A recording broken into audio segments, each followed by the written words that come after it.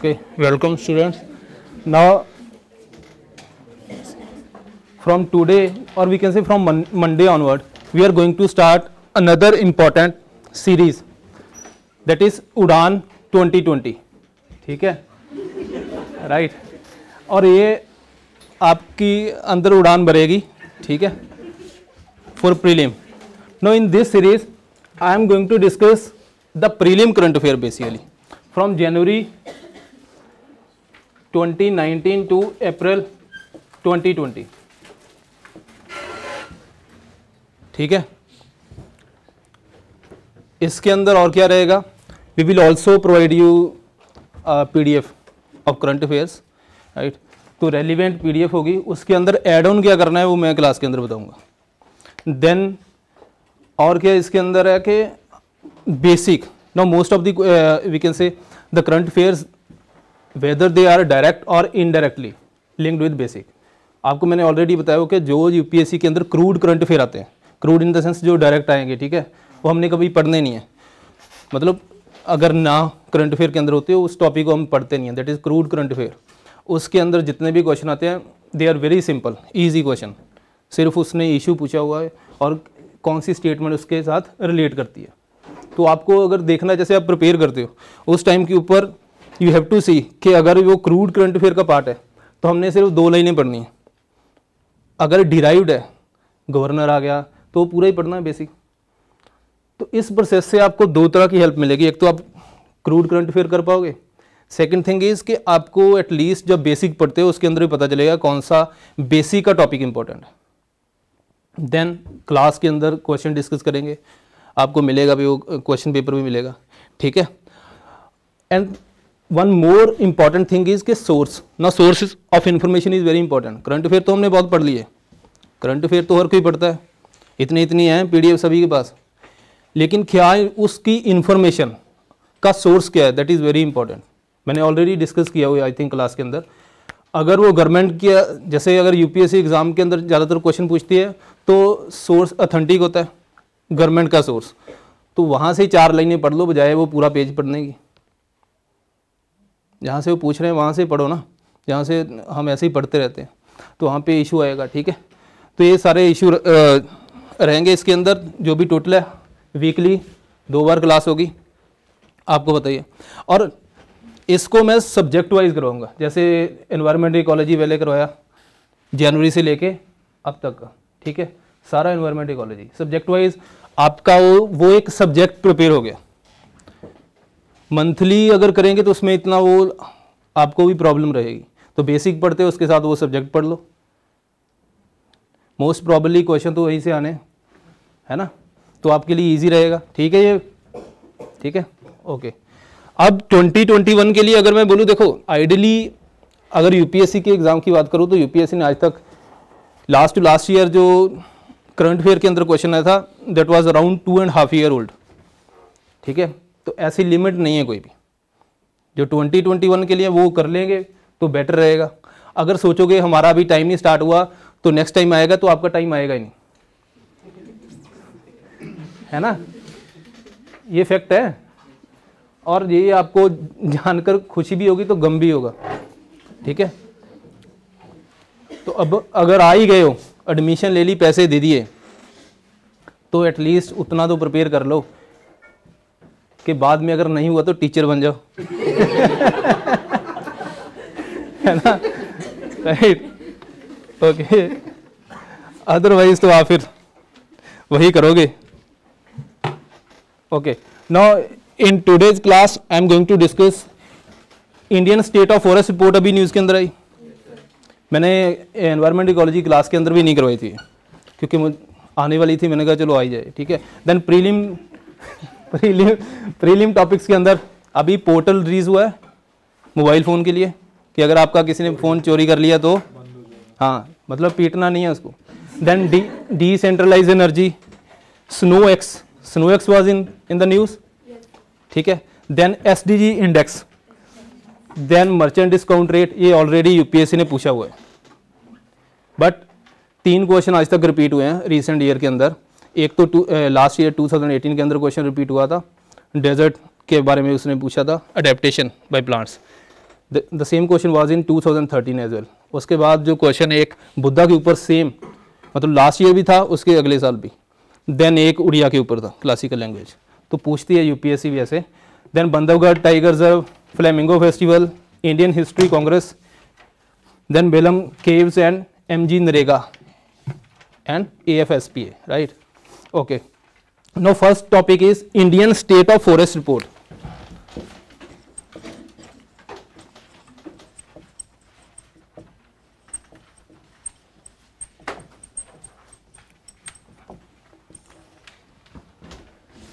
कौन से साल की है?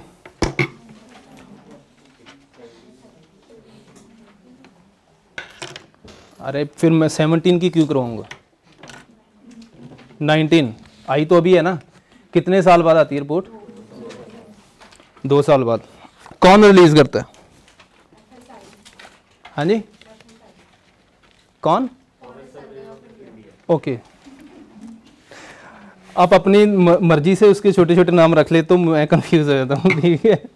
Okay but before that we have to understand two और थ्री थिंग्स जो उसने बोला गया है उसके ऊपर तो उसके अंदर बेसिक के अंदर आपको दो तीन चीज़ें पता होनी चाहिए।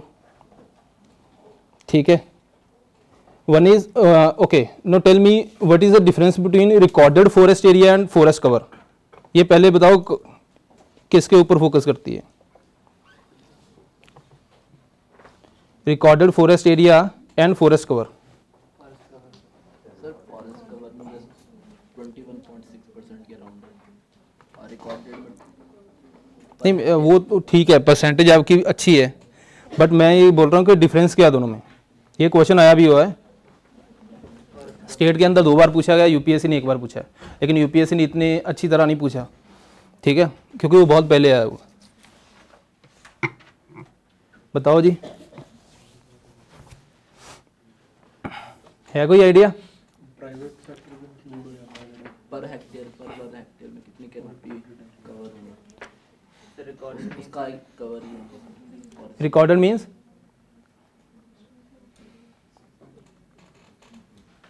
रिकॉर्डेड मींस अगर वहाँ पर स्ट्रक्स भी हैं और कुछ भी नहीं है तो वो भी फॉरेस्ट एरिया के इंक्लूडेड आता है। अदरवाइज़ दूसरा है कि जिस पर ट्रीज हैं उनकी ठीक है। मतलब नहीं आता है है ना? सुनो तीन चीज़ें हमें करनी है which are very important from prelim perspective one is the difference पहले मैं बेसिक बताऊँगा, ठीक है, इसके अंदर। वही काम आएगा आपके। फैक्ट तो आपने पढ़ ही लिए होंगे एटलीस्ट वो भी लिखाऊँगा। Okay one is recorded forest area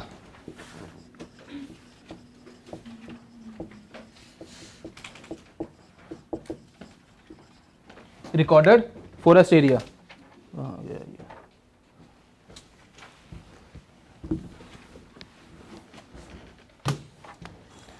another one is forest cover.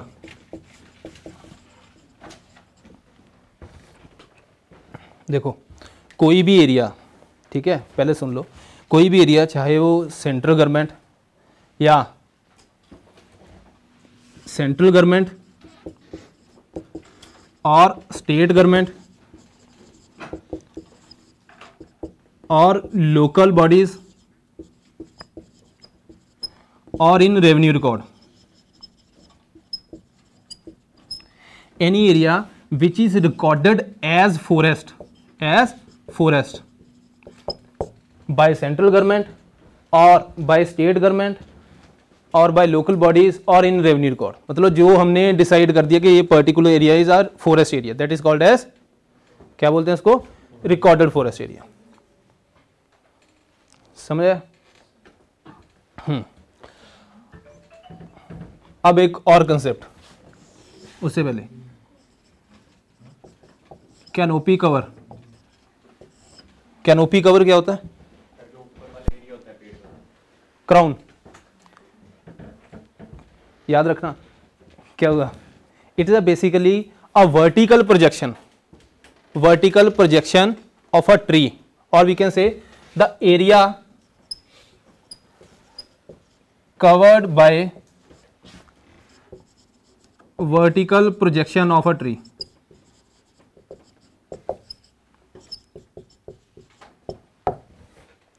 Vertical projection मतलब अगर ये एक पर्टिकुलर एरिया के अंदर जितने भी ट्रीज ठीक है वर्टिकल प्रोजेक्शन है लेट अस सपोज़ ये एक पर्टिकुलर एरिया है, इसके अंदर इतना एरिया वर्टिकल प्रोजेक्शन ने कवर किया हो, बाकी ग्रासेस है या डिग्रेडेड फॉरेस्ट है, ठीक है? अगर ये एरिया मैं बोलता हूँ कि 40 परसेंट है टोटल का so canopy cover will be कितना होगा? 40 percent. Canopy cover is 40 percent.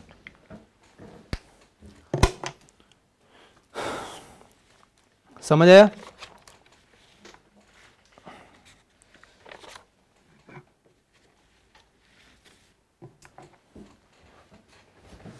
ठीक है जी। अब बात करते हो इसकी। कैनोपी कवर समझ आ गया कि क्या होता है? And difference between recorded forest area and forest cover. अब इसी को बताऊँगा। नो इसका लीगल स्टेटस क्या है? It is a government owned area है ना? गवर्नमेंट का area recorded forest area now forest cover forest cover basically कि जो Indian state of forest report ने कवर किया है, जिसको उसने रिकॉर्ड किया है that is a forest cover but forest cover कौन सा एरिया है? Area where the canopy cover is more than ten percent and area is more than one hectare then and area is more than one hectare समझे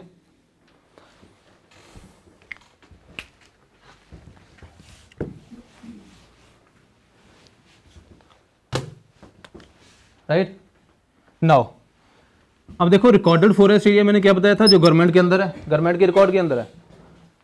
अब इस area के अंदर ऐसा भी हो सकता है कोई एरिया जहाँ पे जहाँ पे कोई ट्री नहीं है है ना?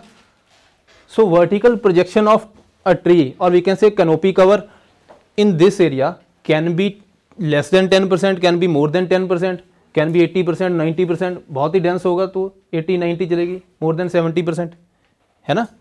इट मीन्स के recorded forest area can be any area जो गवर्नमेंट के रिकॉर्ड के अंदर। डजेंट मैटर उसके अंदर ट्रीज है या नहीं है। So it can be a area where the canopy cover is less than ten percent और it can be area where the canopy cover is more than ten percent अब exam के अंदर कैसा पूछा है जैसे फॉरेस्ट कवर है, वो बोलेगा फॉरेस्ट कवर क्या रिकॉर्ड करता है? क्या रिकॉर्डेड फॉरेस्ट एरिया सारे को करता है? अगर Indian state of forest report उसने एरिया रिकॉर्ड करना है तो क्या वो पूरा ही रिकॉर्डेड फॉरेस्ट एरिया को रिकॉर्ड करेगा? नहीं। कौन से एरिया करेगा?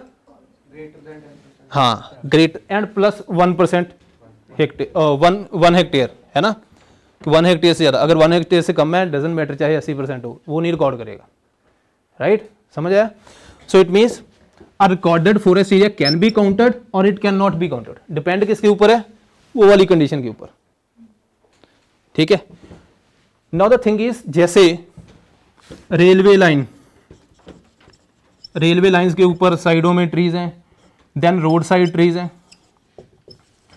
then plantation like rubber trees है ना? प्लांटेशन लाइक रबर ट्रीज अब ये सारे गवर्नमेंट ने forest area recorded forest area के अंदर नहीं रखे। बट जिनकी कंडीशन इससे मैच होती है, उसको ये रिकॉर्ड करेगा। समझ? आए so it means that in case of forest cover it can count government area और प्राइवेट एरिया मतलब ownership doesn't matter ownership matter नहीं करती। बस इतनी एक कंडीशन देखनी है, यहाँ पे भी इसको कैनोपी कवर 10 परसेंट से ज़्यादा मिला and area is more than one hectare इसने काउंट कर देना। डिफरेंस दोनों के अंदर क्लियर आ गया यहाँ पे गवर्नमेंट ओन्ड एरिया है, ये गवर्नमेंट और अदर मतलब ओनरशिप मैटर नहीं करती। मैटर क्या करता है? दैट कंडीशन कर लोगे क्वेश्चन अब तो एग्ज़ाम के अंदर?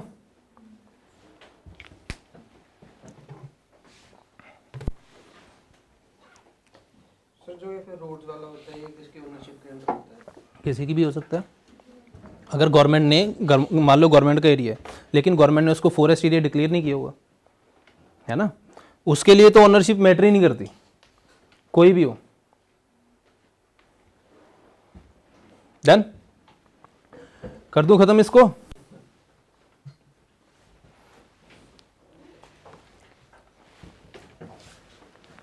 Okay no another thing is एक और चीज़ उसके अंदर डिस्कस की हुई है। मैं वही आपको पहले बेसिक करवा रहा हूँ, जो उसके अंदर लिखा हुआ है। तो बाद में आप पूछोगे, सर, ये क्या है? कि मोर देन टेन परसेंट बोल रहा है। No if the canopy is less than ten percent उस एरिया को हम क्या बोलते हैं? स्क्रब एरिया तो अगर ये बोलेगा, इस स्क्रब को काउंट करता है? नहीं करता. Scrub basically degraded forest scrub is degraded forest ten to 40 percent canopy है. Open forest area it will be open forest area right? अगर 10 से 40 परसेंट कैनोपी है, क्या वो फॉरेस्ट कवर ओपन फॉरेस्ट को करता है काउंट करता है more than 10 percent forty to seventy percent है moderately dense forest. If the canopy cover is 40 to 70 percent, it's a moderately dense forest. अगर 70 टू 100 परसेंट है वेरी डेंस फॉरेस्ट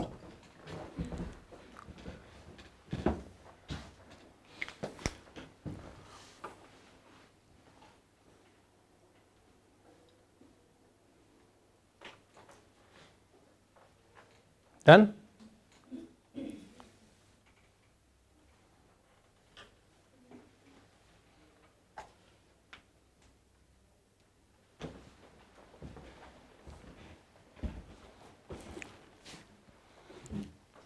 हो गया?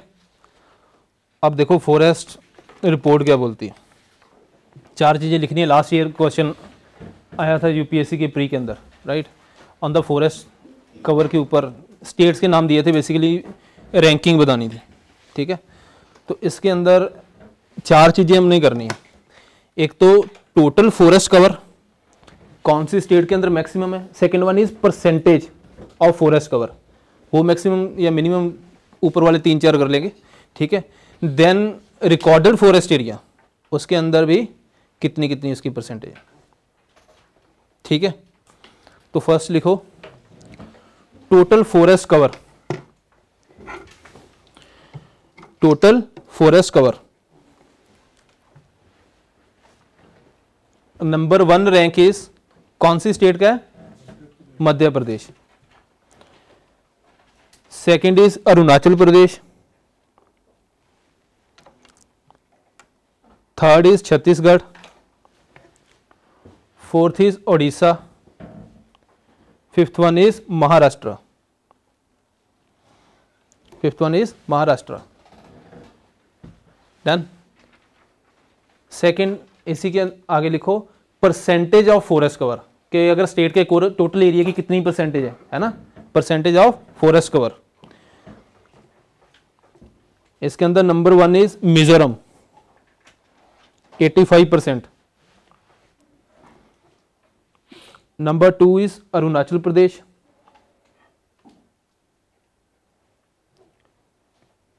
number three is Meghalaya number four is Manipur number five is Nagaland.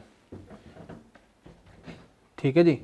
नौ एक और चीज़, देखो अब Lakshadweep recorded forest area क्या है? जो गवर्नमेंट ने डिक्लेयर कर दिया कि ये particular area is forest area Lakshadweep के अंदर recorded forest area is zero percent government ने रिकॉर्ड नहीं किया। Recorded forest area in Lakshadweep is zero percent whereas forest cover is ninety percent forest cover is ninety percent, nine zero. ठीक है? तो जो मैंने रैंकिंग लिखवाई है, वो किसकी रैंकिंग है? स्टेट्स की। उसके अंदर यूटी नहीं अदरवाइज़ लक्षद्वीप नंबर वन पे आता। है ना? क्योंकि उसके अंदर जो मैंने आपको मिजोरम लिखवाया, उसका अराउंड 85 परसेंट है। Lakshadweep is 90 percent. है ना? अब समझ आया ना? देखो कितनी अच्छी एग्जांपल है। या नहीं? Okay then recorded forest area recorded forest area recorded forest area के अंदर हमने पहले लिखना है कि total area area wise rank किसका है सबसे ज़्यादा? Madhya Pradesh. Number one is Madhya Pradesh. Then Maharashtra. Then Odisha. Then Chhattisgarh and then Arunachal Pradesh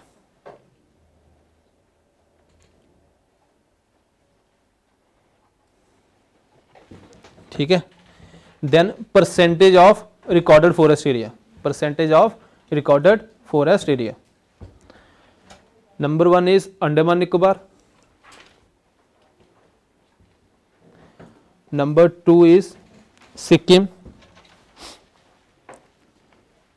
number three is Manipur and number four is Uttarakhand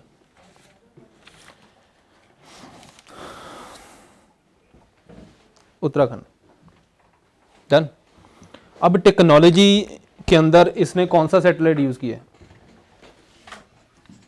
कौन सा satellite use किया है?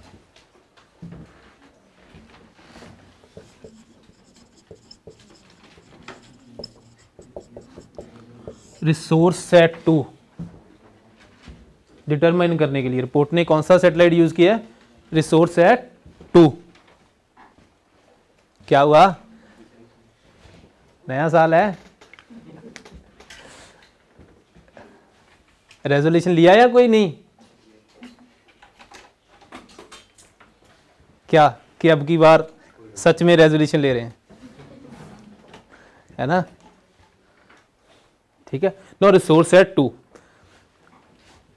इस satellite ये कौन से ऑर्बिट के अंदर है?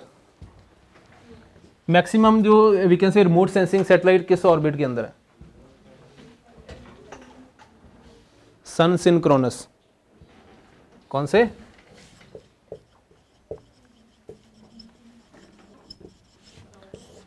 क्योंकि भाई वो सनलाइट चाहिए रिमोट सेंसिंग के लिए। है ना? तो इसलिए the mostly satellite are present in sun synchronous orbit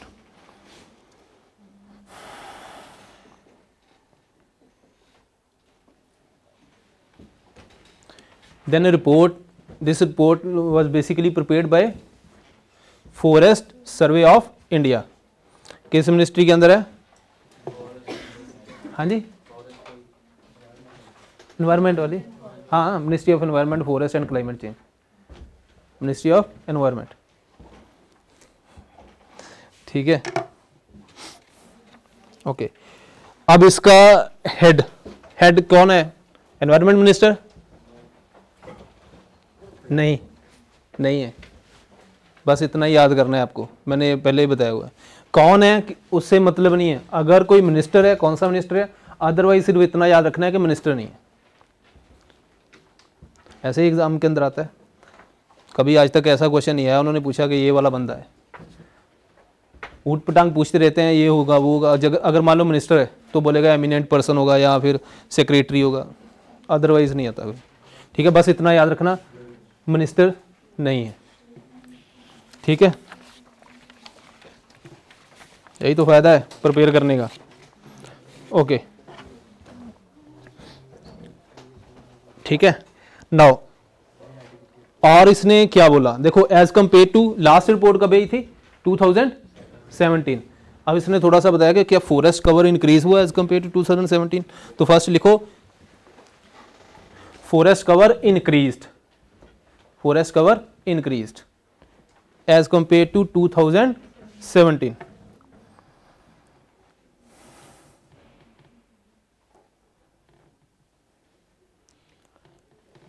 second is increase in carbon stock देखो, ये पॉइंट तो मैं सिर्फ़ ऐसे जनरल से लिखवा रहा हूँ आपको। बहुत कम चांस है इसके ऊपर क्वेश्चन आए, लेकिन जो पहले करवाया, उसके ऊपर क्वेश्चन आ सकता है। तो उसको आपने ध्यान से पढ़ना है। Increase in carbon stock total wetland area also increase सबसे ज़्यादा वेटलैंड एरिया कहाँ पे है? इंडिया के अंदर। किसने बोला? आपको किसने बोला?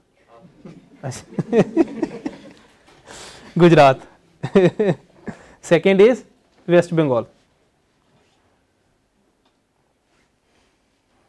hmm अब बात कर लेते हैं तीन एरिया की। मॉडरेटली देखो, सबसे बेटर कौन सा है? वेरी डेंस तो अच्छा है ना?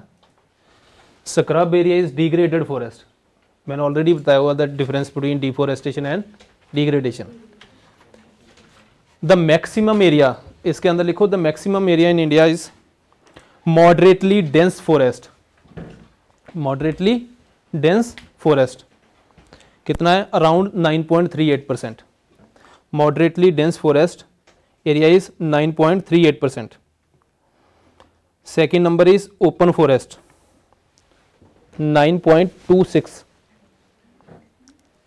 second is open forest area 9.26 third one is very dense forest area very dense forest area percentage कितनी है इसकी? 3.02 percent and the last one is scrub scrub is 1.41 percent ठीक है? तो टोटल इंडिया का फॉरेस्ट कवर अगर मैं बात करूँ दैट इज़ 21.67 परसेंट लिख लो। फॉरेस्ट कवर कितना है? 21.67 परसेंट टोटल इंडिया का forest cover is 21.67 percent plus tree cover अगर मैं ट्री के कवर है ना, जितना भी ट्रीज एरिया जो आउटर साइड वाले, वो भी इंक्लूड कर दूँ। ट्री कवर कितने हैं हमारे? 2.89 percent 2.89 percent so forest cover is 21.67 percent अगर जो ट्री कवर उसको भी इंक्लूड कर दें, जो ट्री कवर कितना है? 2.89 परसेंट अब दोनों को ऐड करो और forest cover including tree cover कितना बनता है? 24.56 परसेंट दैट इज़ 24.56 परसेंट है ना? आया समझ कुछ? हम्म। ओके, एक चीज़ और है यार। हाँ इंडिया का टोटल फॉरेस्ट एरिया अगर पूरी कंट्रीज़ की बात करें तो इंडिया कितना रैंक है? वर्ल्ड के अंदर। फॉरेस्ट कवर के अंदर इंडिया का रैंक कितना है? टेंथ फ़र्स्ट सबसे पहला रैंक है रशिया। फ़र्स्ट हाँ? पूरे वर्ल्ड के अंदर फॉरेस्ट कवर हर कंट्री का अलग अलग है ना? First rank is of Russia country wise नहीं नहीं परसेंटेज वाइज नहीं उसको परसेंटेज एरिया वाइज एरिया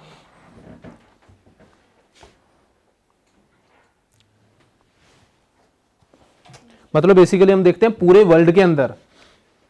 समझो पूरे वर्ल्ड के अंदर जितना फॉरेस्ट है उसकी परसेंटेज कितनी है कंट्री के अंदर?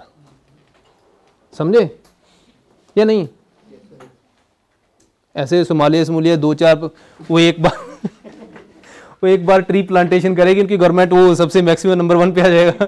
वो है कितना? उतनी लंबी तो पंजाबियों की गेड़ी होती। है ना? तो टोटल वर्ल्ड का फॉरेस्ट है, उसकी परसेंटेज हर कंट्री के अंदर अलग है। जैसे रशिया के अंदर है around eight percent of global forest area is in Russia उसके बाद अगर मैं एशिया की बात करूँ, चाइना का नंबर फाइव है। देन इंडिया टेन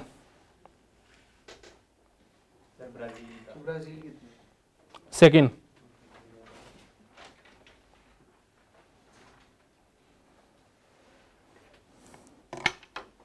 ठीक है? मैंग्रोव फॉरेस्ट इंक्रीज हुआ है? Yes it also increase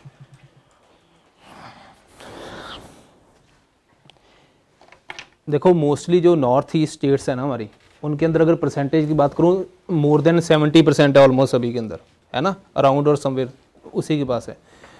but वो बोलते हैं अभी जो रिसेंट फॉरेस्ट कवर है, वो डिक्रीज हुआ है north east states except two states तो लिख लो decrease in north east state forest cover decrease in north east states forest cover except Assam and Tripura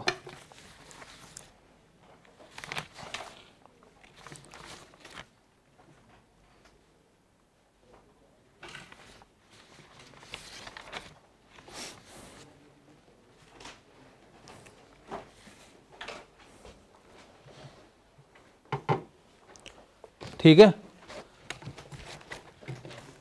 बहुत है? क्या? ओके। अब थोड़ी प्रीलिम के कर लेते हैं।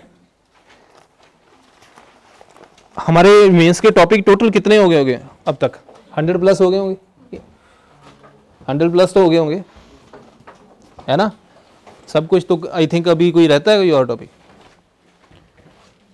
जितने भी टॉपिक रहते होंगे प्री के बाद करवा दूँगा। यही होगा मेंस का। हाँ मेंस के जो टॉपिक है, उसका प्रीलिम पर्सपेक्टिव तो करवाऊँगा आगे वाली क्लासेस के अंदर। क्योंकि अब प्रीलिम मोड के अंदर सारे आ गए। है ना? तो उनका प्रीलिम पर्सपेक्टिव तो करेंगे हम। बट मेंस पर्सपेक्टिव कब है एग्ज़ाम होली कब है? इकतीस मई के बाद। वो तो तीन चार क्लासेस के अंदर खत्म हो जाएगा, जब हम मेंस का टोटल करेंगे राइट ओके चलो फिर। फ़र्स्ट इज़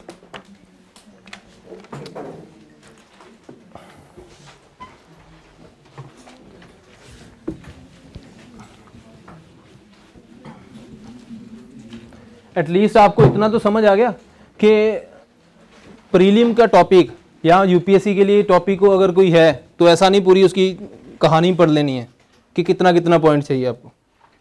जैसे ऑर्गेनाइजेशन का तो मैं हर बार बताता हूँ, क्या चाहिए ऑर्गेनाइजेशन के अंदर? हेडक्वार्टर है?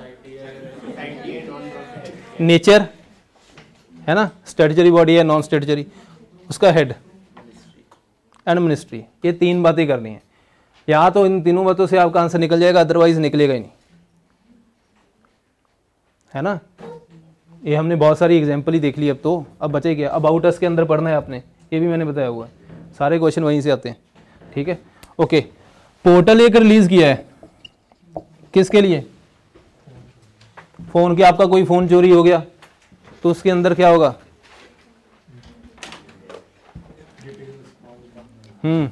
हर फ़ोन के अंदर एक चीज़ है। I M E I number this is unique unique to sim slot क्या हुआ? हंस के रहे आज? ठीक है।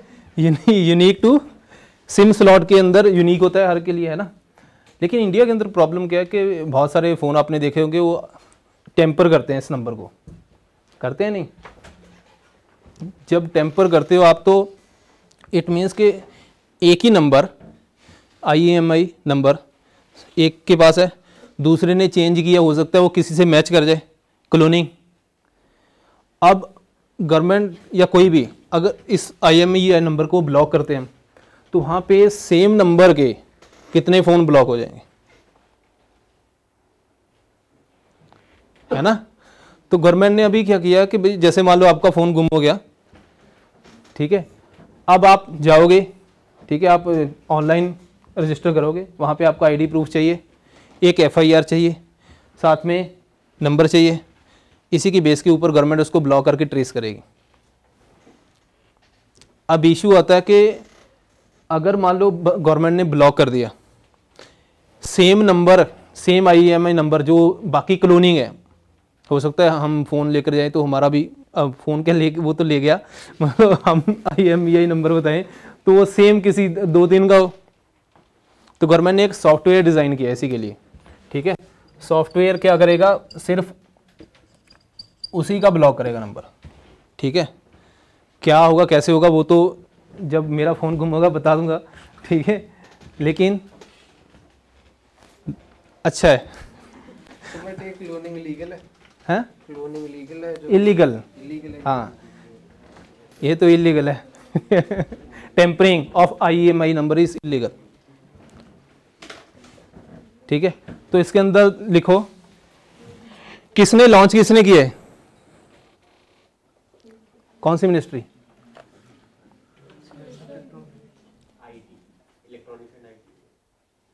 M E I T Y पूरा गलत है।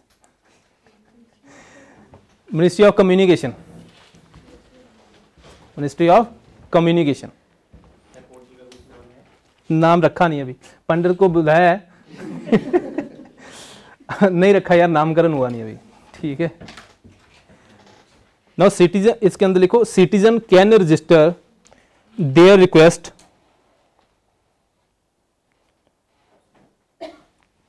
ठीक है। along with comma address FIR comma address proof to block IMEI number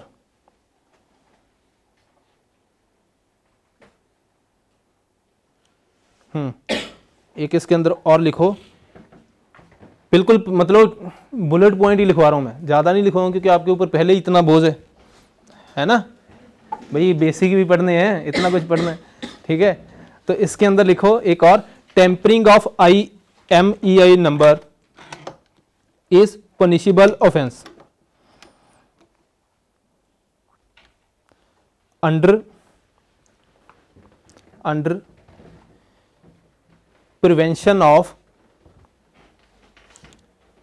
under prevention of tampering of the mobile device under prevention of tampering of the mobile device equipment equipment identification rules 2017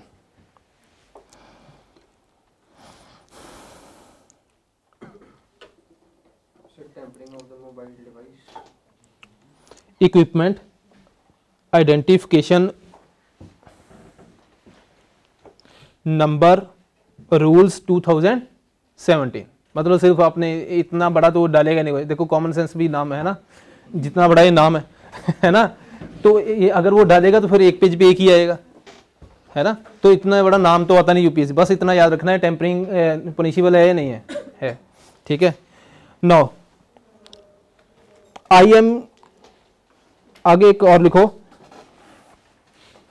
अब ये I M I number देता कौन है? G S M A ठीक है? I M E I number is allocated by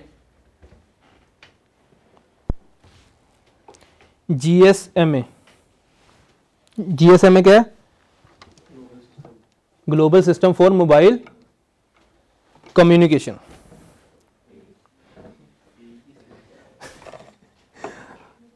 association क्या लगाओगे फिर? वही है। देखो। ये बेसिकली क्या? हाँ GSMA is a inter government body GSMA अब मैंने पूछ लिया, बता दो। अगर मैं बोलूँ यूपीएससी ने पूछ लिया कि GSMA is a inter governmental body सोचना क्या है? सीधा को सर पढ़ा ही नहीं है, उसमें क्या है? नहीं है not inter government body basically it is a association of we can say mobile operators and makers right है ना? तो बहुत सारे मतलब कंपनीज़ ने मिलके इसको डिज़ाइन किया है। मतलब ये बनाई है एसोसिएशन जीएसएम में तो आपने सिर्फ़ इंटर गवर्नमेंटल बॉडी नहीं है।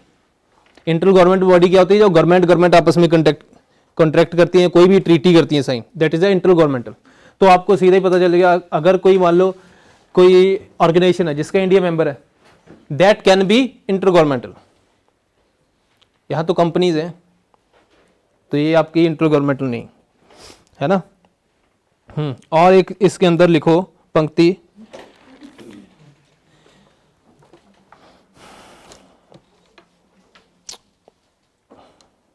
बस, एक प्रीलिम के लिए पॉइंट लिख लो central equipment identity registry central equipment identity registry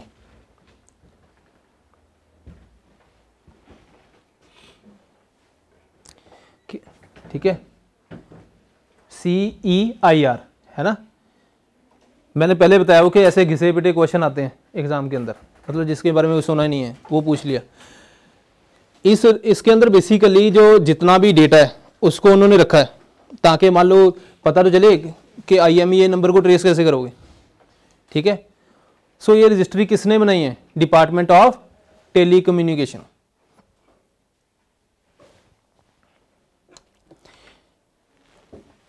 इसके अंदर लिख लो it connects it connects I M E I database to all mobile operators to all mobile operators ठीक है? Okay next one is decentralised energy decentralise energy इसके अंदर आपको सिर्फ़ question कैसा बन सकता है? पहले तो ये देखते हैं। देखो इसके अंदर एक हम्म, दो टाइप की अभी आईआईटी गुवाहाटी ने एक टेक्नोलॉजी बनाई है। बनाई नहीं है ऑलरेडी है। बस उन्होंने बोला हम घर में यूज़ करेंगे। जैसे आपके बोलते हैं घर के अंदर जैसे टैप के अंदर वाटर आता है ना उससे हम इलेक्ट्रिसिटी प्रोड्यूस करेंगे। ठीक है? तो ज़्यादा पानी पियोगे तो झटके लगेंगे। मे भी ठीक है? सिर्फ़ इतना हमने हमें पता होना चाहिए कि जो दो टेक्नोलॉजीज़ हैं, आपको एग्ज़ाम के अंदर वहाँ पे लिखी होंगी, ऊपर वो चार स्टेटमेंट होंगी कि किससे रिलेटेड है। उससे ज़्यादा टेक्नोलॉजी यूपीएससी के अंदर ऐसे पूछते नहीं है। वो भी ऐसी टेक्नोलॉजी अभी रिसर्च चल रही है बेसिकली अभी फुल फुल फ्लैश्ड उन्होंने बोला नहीं कि ऐसे बनाएँगे, ये करेंगे। क्योंकि इतने छोटे लेवल के ऊपर इम्प्लीमेंट करना इट इज़ वेरी डिफ़िकल्ट और होगा भी नहीं। अभी तो ये पानी नहीं घर में आया टैप से। कहाँ आया है? है ना? तालाब ने नहा रहे हैं बच्चे, ठीक है? तो अगर पानी नहीं आया तो कहाँ से बिजली? ठीक है? तो यही बेनिफिट है बिजली संबंध का। व्हाट इज़ बिजली sambandh? Current affairs current affair की हिंदी क्या है? बिजली संबंध ही है?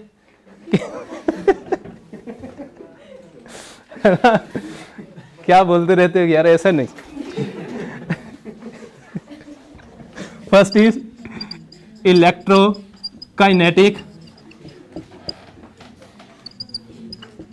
streaming potential electrokinetic streaming potential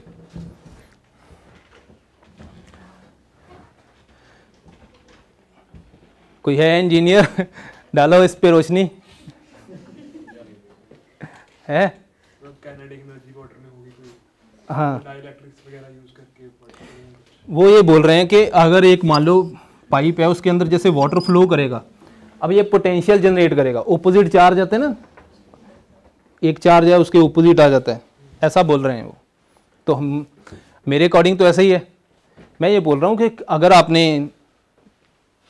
degree के अंदर कुछ पढ़ा है इसके बारे में ट्रांसड्यूस ट्रांसड्यूसर नहीं होते वो होगा कोई वो जो प्रेशर वाला होगा कि एक पाइप के एक साइड पे प्रेशर लगा डिफरेंस हो गया प्रेशर हाँ वो बेसिकली चार्ज की बात कर रहे हैं कि अगर ओपोजिट चार्ज जलता है ना जैसे कार के अंदर बोलते हैं अगर बिजली आई तो कार के अंदर बैठ जाओ बंद करके ऐसा ही है?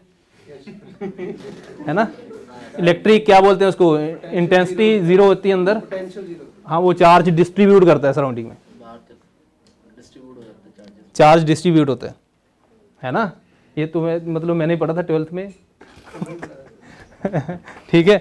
नो इलेक्ट्रिक स्टीमिंग पोटेंशियल क्या है? आपको सिर्फ़ इतना याद करना है, बस वो ये पूछेगा कि recently this term was in news is related to क्या ये वी कैन से वाटर से एनर्जी प्रोड्यूस करने के लिए है किससे? ठीक है? तो इसके अंदर लिखो to harvest energy from flowing water flowing water to harvest energy from flowing water on the small scale on the small scale like household water taps like household water taps बहुत है ना मैंने इसकी बेसिकली मैंने मेरे अंदर कीड़ा था कल कि, कि मैं इसकी जानूं। ठीक है? और जब मैंने खोली वो पीडीएफ वो साठ पेज की थी। ठीक है? नहीं इन्होंने नहीं ना रिलीज़ की। चक्कर यही है। वो मतलब बेसिक के ऊपर थी पूरी। ठीक है research second one contrasting interfacial activities. Now this one is important. Contrasting interfacial activities ये आपको एग्ज़ाम के अंदर दोनों में से प्रेफर करोगे तो सेकंड वाला पूछेंगे, क्योंकि जिसका, है ना, कई बार बच्चा गैस मारता है, ठीक है? तो उसका बिल्कुल ओपोजिट ऐसा टाइप क्वेश्चन बनता है। कॉन्ट्रास्टिंग इंटरफेशियल एक्टिविटीज़ इसको बेसिकली देखो, इसके अंदर कौन सा वाटर था? Moving water in this stagnant water stagnant water graphene graphene नाम सुना है? ग्राफीन ग्रे कलर की अफीम नहीं है ये। ठीक है? Graphene basically it's a one carbon atom thick right जिसका size around two two twenty nanometre होता है। इट इज़ वेरी थिन और आने वाले टाइम के अंदर आप देखोगे कि बहुत सारे आपके ये लैपटॉप वगैरह ये इतनी इतनी थिक हैं बस। And it can also replace lithium ion battery क्या लिथियम इंडिया के अंदर है?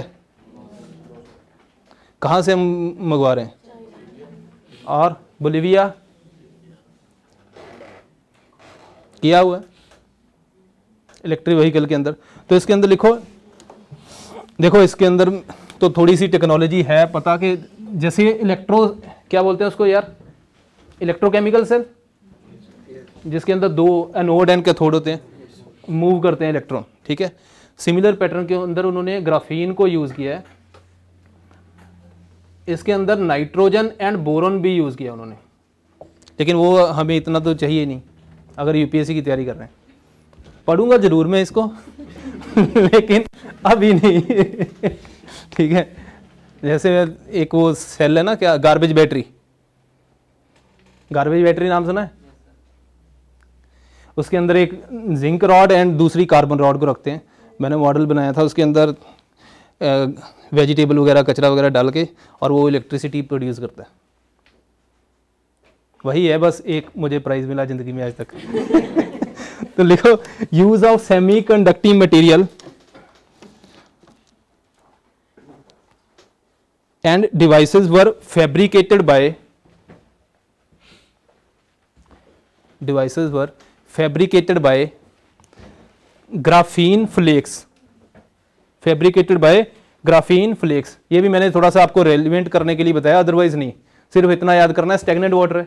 स्टेगनेंट भी तब पूछेगा। फ्लोइंग और स्टेगनेंट जब बहुत ही ज़्यादा मतलब उसको लगेगा, यार, बच्चे को आना ही नहीं चाहिए। अदरवाइज़ आपको सीधा ये पूछेगा, ये टेक्नोलॉजी थी, किससे रिलेटेड है? ठीक है? ग्राफीन के बारे में लिखो।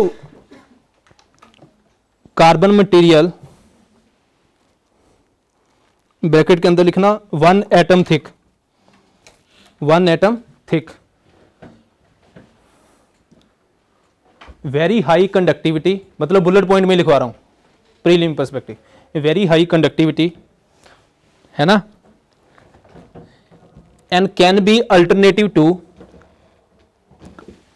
can be alternative to lithium ion battery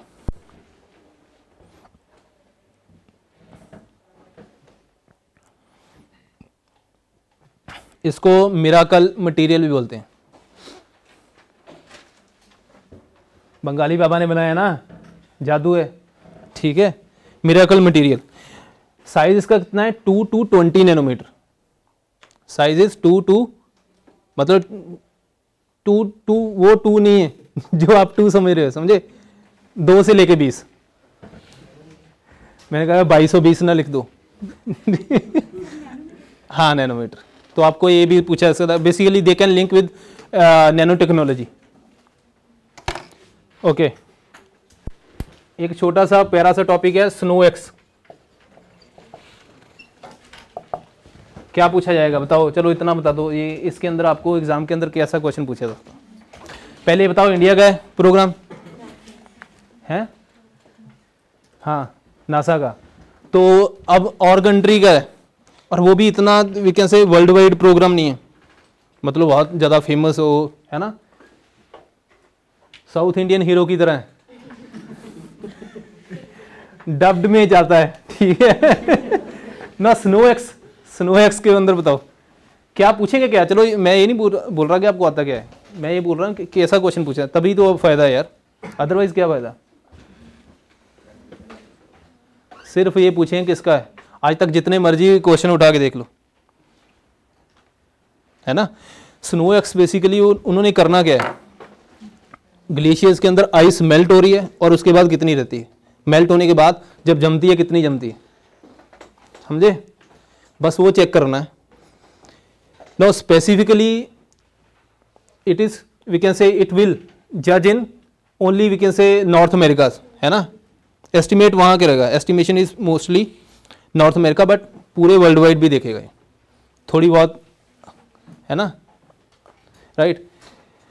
आपको ये याद रखना है, ये प्रोग्राम किसका है? नासा का। Launched by NASA for mapping for mapping snow water. For mapping snow water.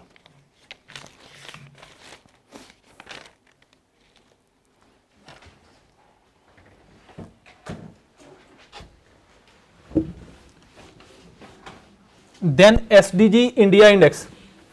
SDG India index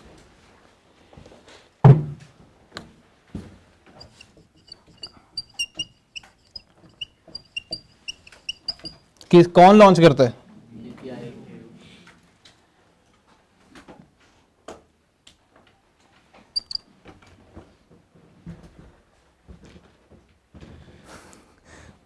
question आने दो, एक इसके अंदर आएगा।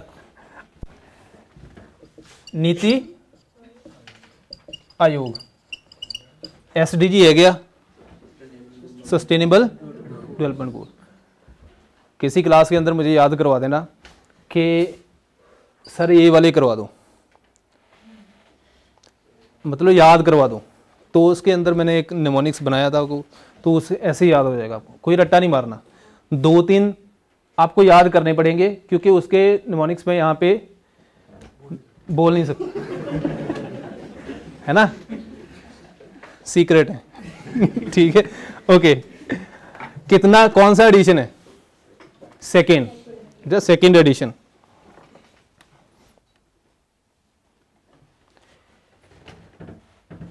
किसके साथ मिलके बनाया ये index one is United Nation in collaboration with United Nation comma global green growth institute global green growth institute अब इसके ग्लोबल ग्रीन ग्रोथ इंस्टीट्यूट के अंदर ब्रैकेट के अंदर लिखो। Inter governmental organisation inter governmental organisation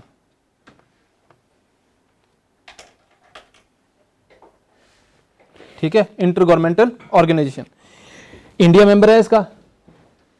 है, तभी तो आया।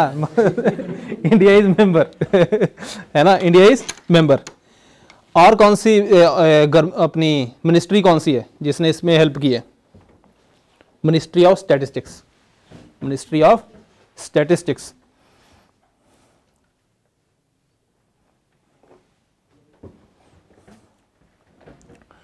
top rank किसका है जी?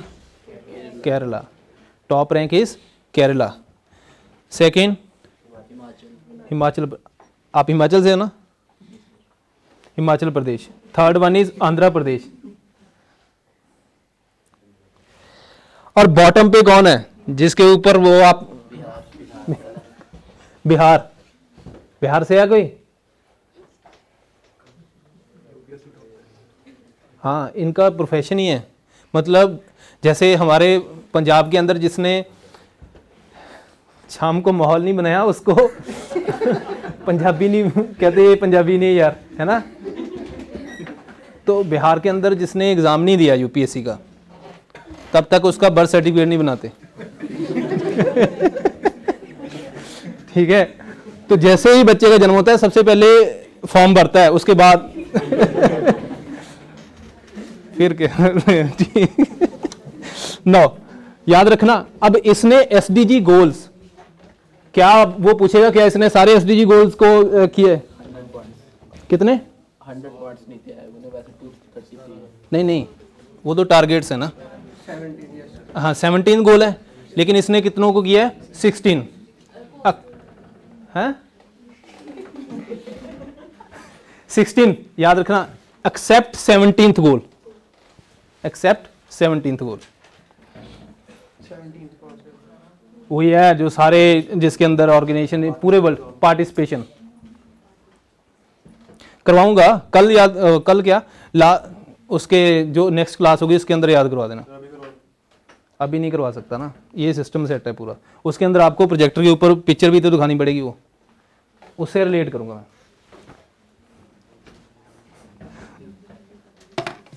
ठीक है? यूटी में टॉप कौन है? लो जी। ठीक है। देखो, ये क्वेश्चन ऑल ऑलरेडी आ चुका है यूपीएससी के अंदर। That is merchant discount rate I think last to last ये 2018 के अंदर पूछा था। अब इसके आने के चांस नहीं है। बट एक परसेंट तो है। क्योंकि दो बार, तीन क्वेश्चन रिपीट हो चुके हैं यूपीएससी के अंदर। तो हैवी इज़ इजी है what is merchant discount rate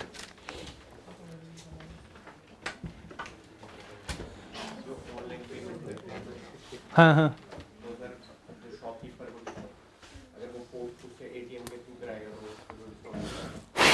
और कोई? देखो, जब आपने देखा था, ये हुआ था, क्या बोलते हैं इसको डीमोनेटाइजेशन उस टाइम के ऊपर उन्होंने बोला कि भाई, जितने भी आपके, जैसे ऑनलाइन उनको दे दिया ना मशीन है पेटीएम ये वो सारा करो। अब जितने भी कस्टमर आ रहे हैं मर्चेंट को क्या करना पड़ता था? रेट पे करना पड़ता था कॉस्ट यूपीएससी ने क्वेश्चन इसलिए पूछा, ये मतलब ऑप्शन ऐसे थे कि बंदा अगर कॉमन सेंस लगाएगा तो नॉन सेंस होगी। सीरियसली बहुत सारे यूपीएससी के अंदर ऐसे क्वेश्चन हैं, वो आप करंट अफेयर के अंदर भी टॉपिक पिक कर सकते हो, अगर टाइम की कमी है, कि कौन सा यूपीएससी पूछ सकती है, कौन सा नहीं। रिस्क आपका है बट एक आइडिया आपको ज़रूर मिलेगा और उसमें क्वेश्चन आ सकता है कि जिसका मतलब ऐसा टॉपिक जिसके ऊपर अगर आप, मैंने पहले देखा आपने टॉपिक कॉमन सेंस से लगा के देखो कि इसका आंसर क्या आना चाहिए। लेकिन अगर उसका आंसर बिल्कुल ऑपोजिट है तो वैसे क्वेश्चन यूपीएससी के अंदर आते यूपीएससी ऐसा नहीं पूछती इनमें से कौन सा सबसे बड़ा एनिमल है। हाथी, लकड़ी बॉटल एंड ग्लास वो तो ऐसे क्वेश्चन थोड़ी पूछती है ना? तो आप इसको भी फर्दर डिसाइड कर सकते हो। जब आपने पढ़ना है ना एक, एक तो पहले हम ही कर देंगे ठीक है? बहुत सारा कर दिए काम। उसके बाद आप खुद भी डिसाइड कर सकते हो कि हाँ मुझे ये वाले टॉपिक बहुत ही अच्छी तरह करने हैं। जिसका मतलब नाम से लेना देना नहीं ठीक है? सो so, अब वो मर्चेंट रेट पे करता है। That is called merchant discount rate तो इसके अंदर लिखो cost paid by merchant to banks cost paid by merchant to banks for accepting for accepting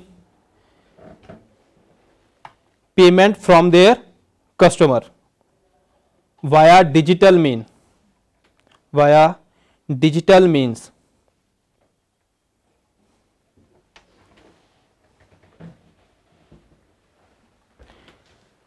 next एक बॉडी लिखो प्रीलिम के लिए national institute of, national institute of mountaineering mountaineering and allied sport, and allied sports. मतलब N I M S N I M S ये basically किसके लिए होगी? Mountain के अंदर वो कोई ना कोई है ना एडवेंचर करवाते रहते हैं कि लोगों का इंटरेस्ट बने एडवेंचर के लिए। ठीक है? वो सारी एक्टिविटीज़ करवाते हैं। No it is located in कौन सी स्टेट के अंदर है? अरुणाचल प्रदेश अरुणाचल प्रदेश मिनिस्ट्री कौन सी होगी?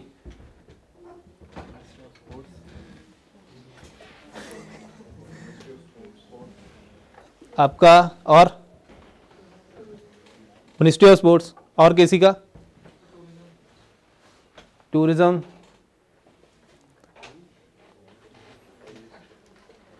ministry of defence ministry of defence देखो अब ये देखो, बिल्कुल ओपोजिट है ना? ऐसे क्वेश्चन याद करने आप। मिनिस्ट्री ऑफ़ डिफेंस ठीक है? प्रेसिडेंट कौन है? No this is very important president कौन है इसका? Defence minister. President is defence minister. And vice president. Vice president is CM of Arunachal Pradesh. CM of Arunachal Pradesh. Vice president is CM of Arunachal Pradesh. इसलिए बोलता हूँ, अगर आप class के अंदर इंटरेस्ट के साथ सुनोगे ना, आधी टॉपिक आपको ऐसे याद हो जाएँगे। और एग्ज़ाम के अंदर सीरियस बनो आपको बिल्कुल क्लास के अंदर बहुत सारी चीज़ें ऐसी हैं जो क्लास के अंदर याद रहती हैं। यही तो बेनिफिट है। Otherwise brick and mortar model fail हो जाता। सारा ऑनलाइन ही चलता काम। है ना? तो आपने करंट अफेयर तो प्रिपेयर करना करना। मैंने खुद ज़िंदगी में अपने टाइम पे सिर्फ़ एक बार करंट अफेयर की क्लास लगाई थी। और वो भी मुझे पता नहीं था करंट अफेयर की उस नंबर के अंदर क्लास थी। दो। दो नंबर के अंदर क्लास थी। मैं चला गया। तो ऐसे बच्चे बहुत सारे बैठे हुए तो कोई टीचर था पता नहीं मुझे कौन था वो। पहले तो हाँ? नहीं नहीं मुझे नाम जब मैंने जॉब ज्वाइन की है तभी मुझे टीचरों के नाम पता लगे। हैं आप भी इधर से पास हो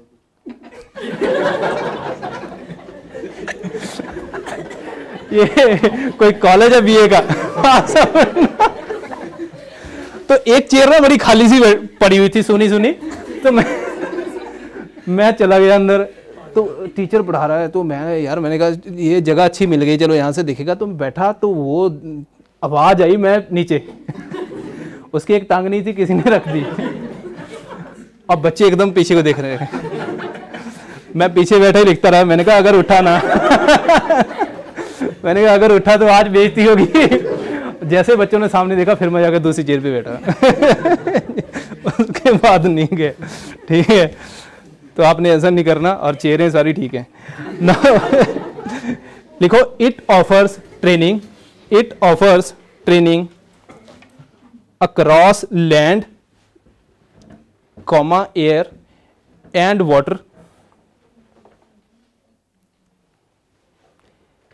that allowed that allowed civilian to experience challenges experience challenges and pursue career in advant, uh, adventure sports career in adventurous sports right इसके अंदर एक और पॉइंट लिख लो It also provide training to defense personnel it also provide training to defense personnel देखो अभी news के अंदर क्यों क्यों था साइकिलिंग एक्सपीडिशन सुना है कि जाएँगे यहाँ से क्या था म्यांमार थाईलैंड मलेशिया साइकिलों पे जाएँगे ठीक है स्टे देखो, हर स्टेट कंट्री के अंदर होगा, ठीक है? तो लिखो recently cycling expedition of N I M S staff reached in और रीस्ट म्यांमार लिख लो रीस्ट म्यांमार रूट क्या है इनका? Myanmar, Thailand, Malaysia. Myanmar, Thailand, Malaysia.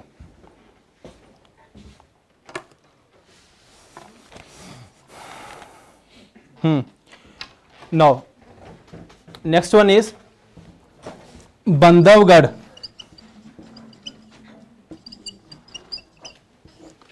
कहाँ पे है ये? National park. और टाइगर रिज़र्व कहाँ पे है? हाँ। हाँ जी। नहीं नहीं, मध्य प्रदेश। मध्य प्रदेश। ठीक है। बांधवगढ़। यही बोलते हैं। क्या बना रहे हैं? क्यों न्यूज़ में था? एलिफेंट कॉलोनी देखो एलिफेंट जो basically they migrate from Jharkhand है ना? झारखंड से आ रहे हैं, यहाँ पे तो उन्होंने उस एरिए को कंजर्व करने के लिए एलिफेंट कॉलोनी बनाई है। ये भी इम्पोर्टेंट नहीं है। मुझे बताओ, जो टाइगर सेंसस क्या बोलते हैं सबसे? मैक्सिमम टाइगर कहाँ पे है? मध्य प्रदेश। दूसरे नंबर है 526 है मध्य प्रदेश। 524 कर्नाटका के अंदर। ठीक है? भेज देते हैं सलमान खान को। हो जाएगा। एक साउथ इंडिया का टाइगर आ जाएगा, एक भोजपुरी का ले लेंगे। तीन टाइगर इकट्ठे कर देंगे। ठीक है नंबर बढ़ जाएगा नंबर वन पे हो जाएगा। ओके नाउ बांधवगढ़ के अंदर हमने थोड़ा सा जानना है कि हिस्ट्री के बारे में। इसका नाम बांधवगढ़ क्यों पड़ा? पे नेशनल पार्क है कि पहले नेशनल पार्क था उसके बाद 1993 के अंदर इसको टाइगर रिज़र्व बना दिया। बहुत सारे ऐसे सारे ही हैं। पहले नेशनल पार्क थे उसके बाद टाइगर रिज़र्व है। ठीक है? वो चलता रहता प्रोसीजर ओके बांधव मतलब ब्रदर गढ़ मतलब फोर्ट। तो ये बोलते हैं भाई राम, श्री राम ने अपने ब्रदर लक्ष्मण को गिफ्ट किया था। तो इसके लिए इसका नाम क्या पड़ गया? बांधवगढ़ राइट ठीक है? लिखो मेंशनड इन शिव पुराना mentioned in Shiv Purana and Narad Pancharatra and Narad Pancharatra. Narad Pancharatra. इसके अंदर एक सेकंड लिखो। लॉर्ड रामा और Ram gifted fort to his brother कौन थे? Lakshman.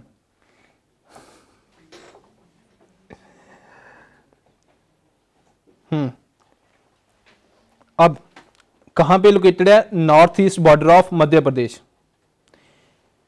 north east border of Madhya Pradesh and northern edge of Satpura range northern edge of Satpura range border of Madhya Pradesh and northern edge of Satpura range climate कौन सा है? कौन से type का? Tropical monsoon मैंने आपको एक और चीज़ बताई थी, क्या? कि आपको नेशनल पार्क कैसे प्रिपेयर करने? मैप के ऊपर जहाँ पे क्लाइमेट आप जियोग्राफी का मैप होगा आपके पास, उसके अंदर क्लाइमेट वगैरह बने होंगे ना, उसके अंदर बस मार्क कर लेना। आपको आइडिया हो जाएगा, ये पर्टिकुलर जो नेशनल पार्क है, इनके अंदर कौन सा क्लाइमेट है, दूसरे कौन सा? वो बेटर है एज कंपेयर टू कि हम अलग अलग याद करें। ठीक है? नाउ एक और फैक्ट लिखो साइक्लोन सराई। कहाँ पे आया है? एस ए आर ए आई कहाँ पे है? Fiji. F I J I Fiji के अंदर। कहाँ पे है? साउथ पैसिफिक ओशियन के अंदर। Located in South Pacific Ocean. इनके भी अलग अलग नाम जैसे इंडियन आ, अपने इंडियन ओशियन साइक्लोन है उनके नाम है। इनके भी नाम है अलग अलग लेकिन ये फिजी के कोई फ्रांस करता है उसकी पूरी लिस्ट है। आई थिंक आरपी सर मेरे से डिस्कस कर रहे हैं उन्होंने करवाया होगा आपको। करवाया है ना? आप तो फेवरेट है उनके। शायद। हाँ। Next one is red boa snake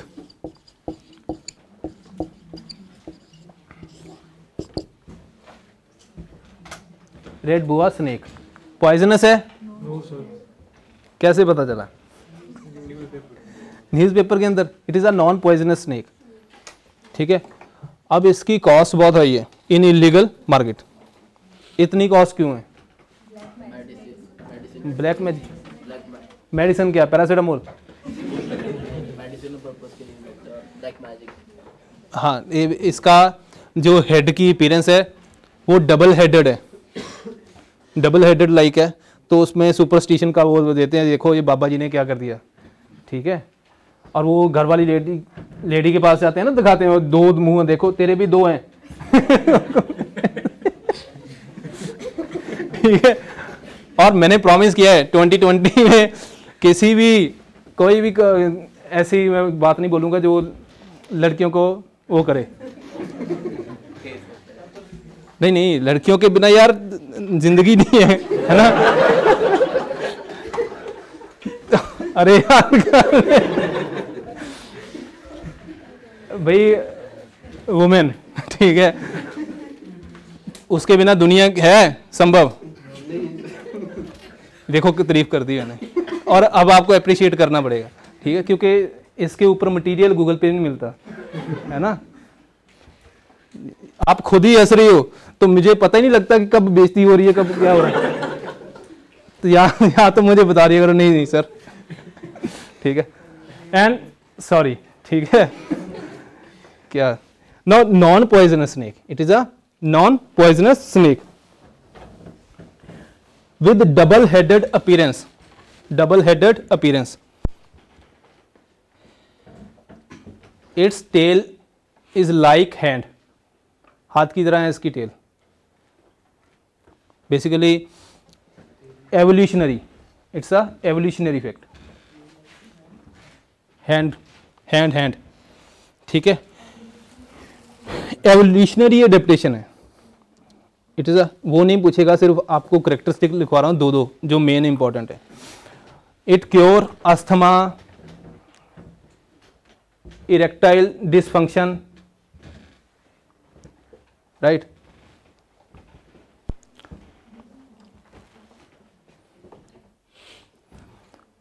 कौन से शेड्यूल के अंदर है? शेड्यूल proven ये जो इसकी medicinal value प्रूवन हाँ हेल्प करता है। ऐसा नहीं है कि रामबाण नहीं है। हो है मतलब ये। हाँ। और ये मार्केट के अंदर यूज़ होता है। ठीक है? सुपरस्टिशन वाला नहीं है टेस्ट ठीक है?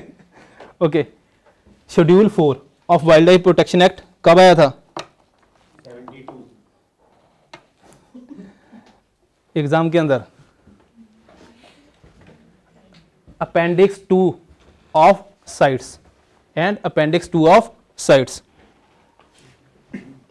appendix two of CITES C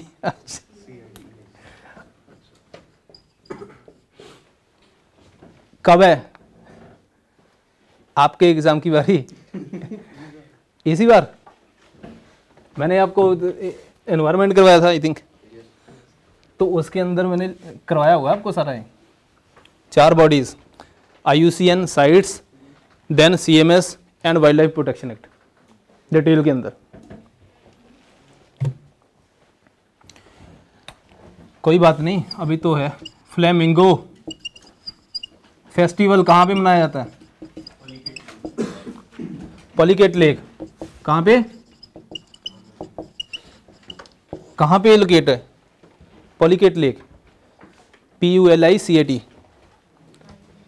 it is Andhra Pradesh and किसके बॉर्डर के ऊपर है? तमिलनाडु ठीक है? तो इसके अंदर लिखो पॉलीकेट लेक के बारे में लिखो।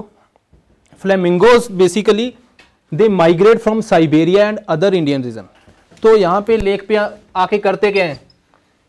फॉर ब्रीडिंग ठीक है? ब्रीडिंग के लिए आते हैं पे। They visit for breeding and after breeding season वो माइग्रेट कर जाते हैं। जैसे अमूर फेलकन कहाँ पे आता है? हाँ नागालैंड। ठीक है। पॉलीकेट लेक के अंदर लिखो। कहाँ पे कहाँ कहाँ पे है? At Andhra Pradesh and Tamil Nadu border Andhra Pradesh के अंदर इसका जो एरिया है दैट इज़ 96 परसेंट मतलब 96 percent it is in Andhra Pradesh and 4 percent in Tamil Nadu रहने दो रहने दो यार, नहीं नहीं। अरे जो गिर गया उसको उठाते नहीं है। है इधर हमारे पास बहुत। ये देखो। ठीक है। It is a second largest brackish water lake second largest brackish water lake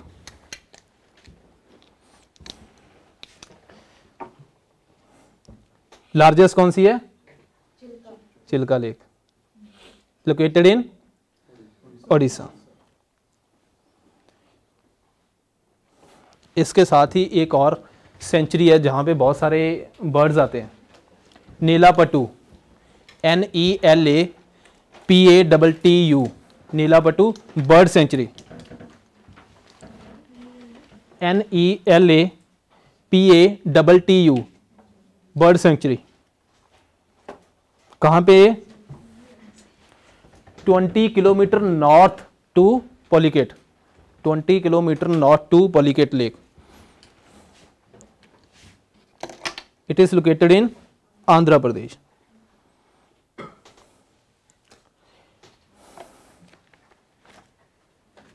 ठीक है? समझ आ रहा है? हाँ। नेक्स्ट वन इज़ जैसे मैंने बताया, देखो हिस्ट्री ट्रेस करना इंपॉर्टेंट है। बहुत सारी चीज़ों की हमने आरटीआई कवर किया था मैंने वीडियो के अंदर। उस वीडियो के अंदर मैंने मजदूर किसान संगठन की बात की थी हिस्ट्री ट्रेस की थी। और यूपी के एग्ज़ाम के अंदर वही पूछ लिया उन्होंने। और बहुत सारे क्वेश्चन ऐसे थे कि हिस्ट्री ट्रेस करनी पड़ती है एटलीस्ट ताकि कोई ना कोई ऑर्गेनाइजेशन अगर है उसके अंदर, बस ज़्यादा नहीं ट्रेस करनी। कोई भी बॉडी है, उसके पहले कोई ऐसी बॉडी बनी है, ठीक है, जिसका रेलिवेंट है कि भाई हमारे प्री इंडिपेंडेंस के अंदर कुछ काम हुआ हो, या पोस्ट इंडिपेंडेंस के अंदर। सिर्फ़ नाम नाम आपने एक बार देखने हैं। क्योंकि अगर जब हिस्ट्री के ऊपर क्वेश्चन आता है, जो वी कैन से कि सिलेबस से थोड़ा हटके वो कहाँ से आएगा सरफेस से? तो आपको सिर्फ़ ऑर्गेनाइजेशन का नाम पता होना चाहिए। एटलीस्ट इतना पता होना चाहिए। आइडिया भी होगा ना तो तब भी आप कर लोगे इसके अंदर। बट आइडिया कब होगा? जब आपने वो एक बार पढ़ा होगा। याद नहीं है, कोई बात नहीं। वहाँ पे आपका दिमाग कहेगा, नहीं यार, ये तूने पढ़ा हुआ, यही है। ठीक है? लिखो Indian History Congress Indian History Congress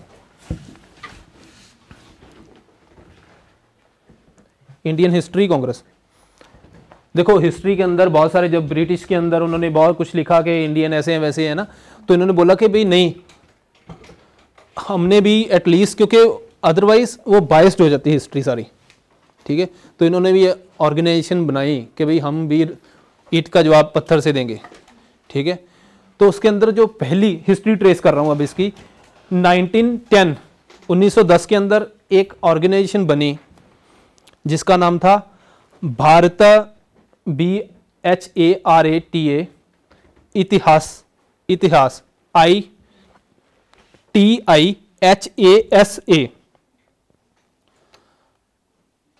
Sanshodhak S A M S H O D H A K A Mandal M A N D A L A Bharat Itihas Sanshodhak Mandal. ठीक है? बनाया किसने था? नाउ दिस इज़ इंपॉर्टेंट क्योंकि आपने देखा होगा history के अंदर बहुत सारे आजकल क्वेश्चन ऐसे आ रहे हैं, जिसके अंदर ऑर्गेनाइजेशन का पूछ लेता किसने बनाई। विश्वनाथ काशीनाथ राजवड़े। विश्वनाथ काशीनाथ राजवड़े। प्यार से जो मर्ज़ी नाम रख लेना इसका, बस आपको एग्ज़ाम के अंदर याद याद होना चाहिए। एक ही नाम है। Vishwanath Kashinath Rajwade. R A J W A D E ठीक है?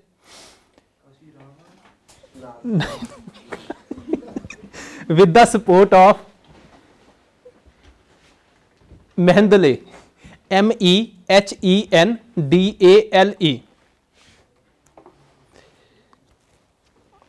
तो उसको आगे एरो डाल के लिखो नीचे को 1917 1917 के अंदर एक और ऑर्गेनाइजेशन बनती है that is Bhandarkar Oriental Research Institute 1917 Bhandarkar Oriental Research Institute.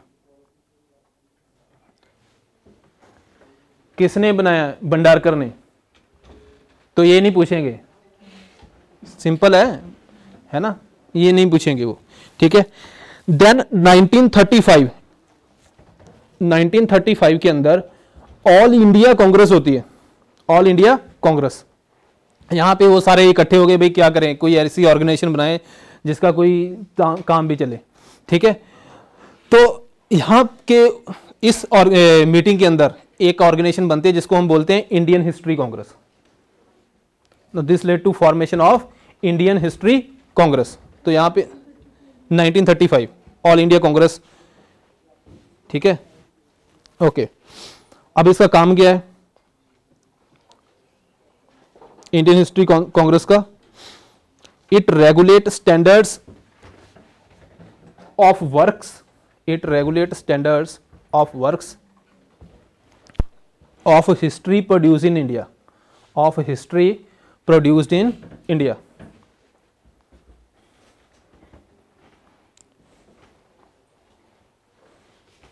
ठीक है? इवन जो स्कूल्स और कॉलेजेस एंड यूनिवर्सिटीज यहाँ पे जो हिस्ट्री पढ़ाई जाती है, उसके अंदर भी हेल्प करती है। To provide value addition and other things है ना? सो so, याद रखना ये। Now next one is Belum caves Belum caves कहाँ पे हैं? बेलम केव्स कौन सी जगह पे हैं जी?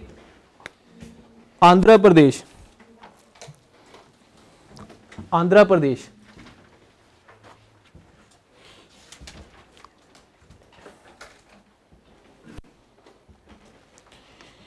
It is a second largest natural cave in India second largest natural cave in India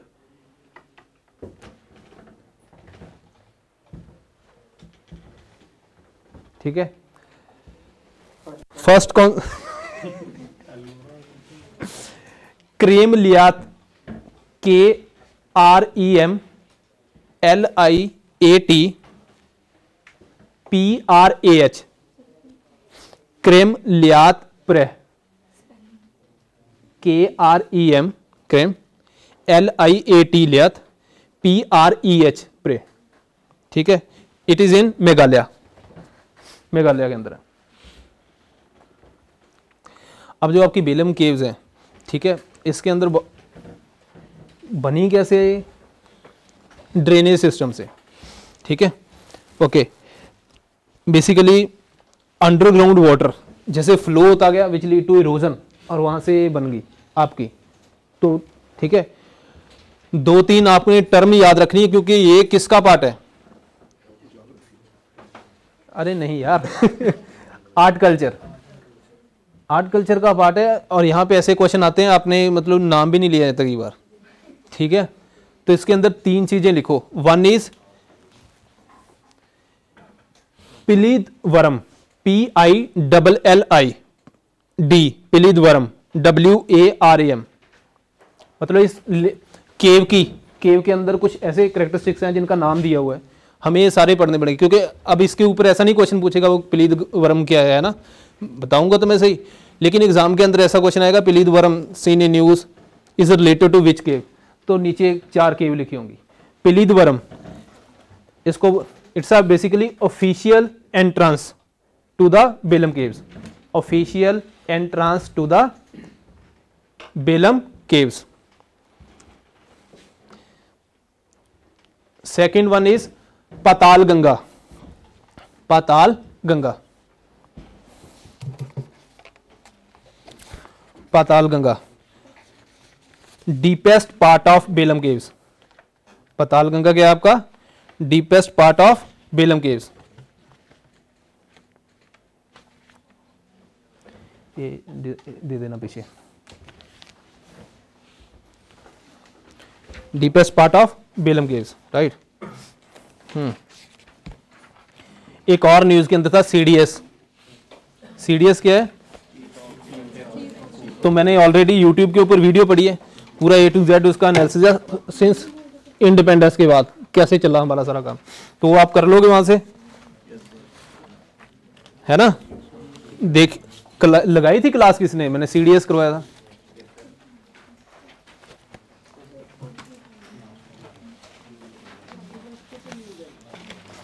question paper मिल गया।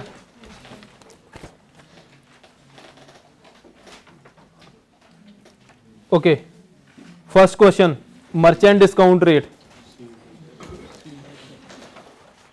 merchant discount rate का आंसर क्या है? सी सी हाँ cost paid by merchant for digital payment right अब देखो first statement देखो discount provided अब बंदा वहाँ पे कंफ्यूज हो जाएगा कि भाई यही है। और मैंने सही मार्क किया है। नंबर बन रहे हैं 140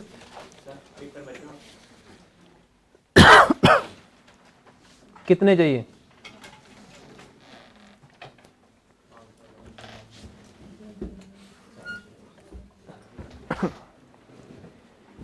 समझे?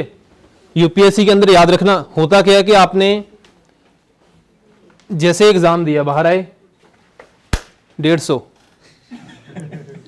एक दो फ्रेंड से मिले 130 गाड़ी में आते आते, यार, दो चेक कर लूँ, मोबाइल पे 110 घर वाले बोल रहे हैं हाँ हो गया। और रात को चेक करते हो, जब आंसर की आती सच में हो गया होता। नब्बे। और ये रियलिटी है। तो आपने वहाँ पे जैसे मान लो आपको लगा डेढ़ सौ है तो मन में ऐसा नहीं सोचना क्यों आपको कई बार तो बंदे को ऐसा लगता है, यार, कहीं वो समय ना ले, इसने नकल मारी है, इतने नंबर कैसे आ सकते? है ना? ओके अमृत स्कीम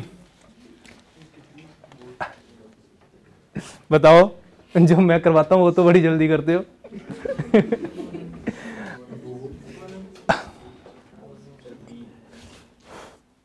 अमृत स्कीम, देखो, ये J double N U R M scheme है ना, जो अभी आपने देखो चंडीगढ़ के अंदर बसेस चलती हैं, उसको उन्होंने नाम चेंज करके अमृत स्कीम रखती है, अटल मिशन फॉर रिजुनेशन, है ना? वहाँ पे प्रोवाइड कर रहे हैं फंड कि हर सिटीज़ वगैरह टाउन्स वगैरह, उनको बोल रहे हैं कि आप अपनी इंफ्रास्ट्रक्चर तैयार करो, हम आपको फंड देंगे, लेकिन इतना नहीं देंगे कि भाई आप करप्शन कर पाओ। आपको सिर्फ़ इंसेंटिव बेस्ड टेन परसेंट मिलना है। फर्दर क्लासिफिकेशन है कि फिफ्टी परसेंट मिल सकता है। फिफ्टी परसेंट फंड किसको मिलेगा? प्रोजेक्ट बेस्ड जिसकी population less than ten lakh है जिस सिटी की। एंड वन थर्ड मिलेगा जिस सिटी की population is more than ten lakh. ये अभी पीडिया के ऊपर मैंने अभी रिसेंटली डाला हुआ है करंट अफेयर नहीं है तो अभी जो रिपीट करूँगा ना नेक्स्ट टाइम से टोटल कवर कर दूँगा। नहीं नहीं। वीडियो नहीं है ये डाला हुआ है क्या बोलते हैं इसको करंट अफेयर वैसे। ठीक है? लेकिन आपको करवा दूँगा मैं उसके अंदर। तो first statement is wrong ministry कौन सी है? मिनिस्ट्री ऑफ़ अर्बन हाउसिंग है ना? Ministry of housing and urban affairs right so second statement तो बिल्कुल ही गलत है। पहली बात तो 60 परसेंट सेंटर के पास पैसे कैसे जाए है ना? थर्ड पोर्टल डी सेकंड का answer is D third one stolen mobile C ministry of communication अब ये देखो, इसके बारे में काफ़ी जगह है ही नहीं इन्फॉर्मेशन कि कौन सी गवर्नमेंट ने लॉन्च किया जी। गवर्नमेंट बताओ तो सही किसने लॉन्च किया? यूपीएससी तो वो पूछेगी, है ना? That is ministry of communication fourth question CDS